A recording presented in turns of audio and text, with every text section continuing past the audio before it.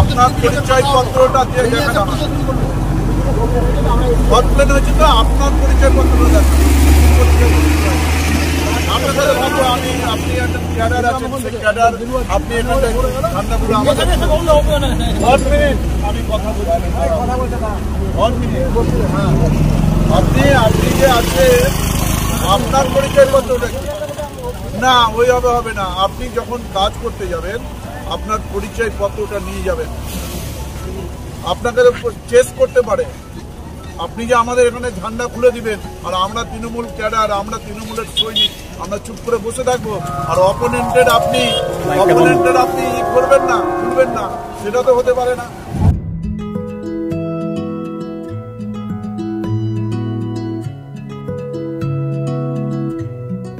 আসবেন তো শুভ মুহূর্তে।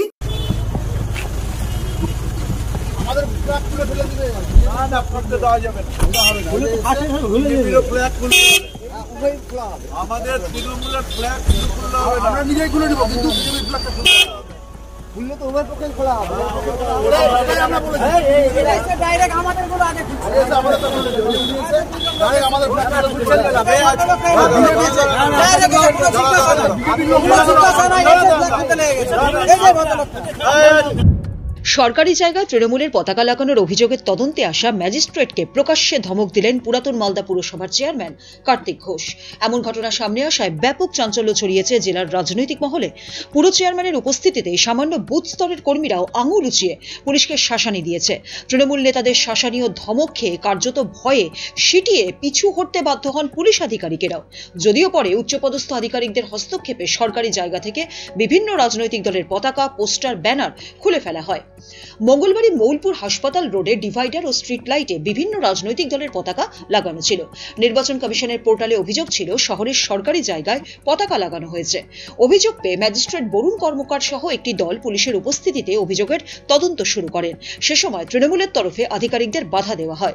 তৃণমূলের পতাকা খোলা যাবে না বলে ম্যাজিস্ট্রেটকে প্রকাশ্যে ধমক দেন চেয়ারম্যান কার্তিক ঘোষ। পরে ম্যাজিস্ট্রেটের কাছে পরিচয়পত্র চেয়ে বসেন তিনি। এতে বাড়তি অক্সিজেন পেয়ে যায়। ঘটনাস্থলে উপস্থিত তৃণমূলের নেতাকর্মীরা। ফলে তারা উত্তেজিত হয়ে মালদা থানার এক পুলিশ আধিকারিককে আঙুল উঁচিয়ে শাসানি দিতে থাকেন। এতে সাময়িকভাবে পিছু হটতে হয় প্রশাসনকে। গোটা ঘটনায় তৃণমূলকে আক্রমণ করেছে বিরোধীরা। যদিও তৃণমূলের যুক্তি শুধুমাত্র তৃণমূলের পতাকা খোলায় প্রতিবাদ করা হয়েছে। পুরাতন মালদা থেকে সিদ্ধার্থ শঙ্কর সরকারের রিপোর্ট, উত্তরবঙ্গ সংবাদ।